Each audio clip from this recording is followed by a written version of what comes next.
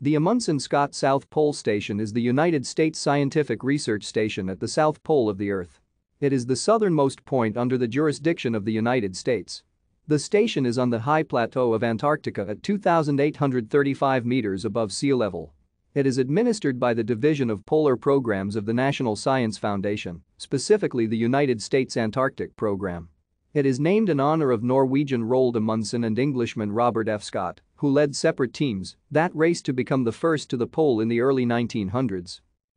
The original Amundsen Scott Station was built by Navy Seabees for the federal government of the United States during November 1956 as a part of its commitment to the scientific goals of the International Geophysical Year, an effort lasting from January 1957 through June 1958 to study, among other things, the geophysics of the polar regions of Earth.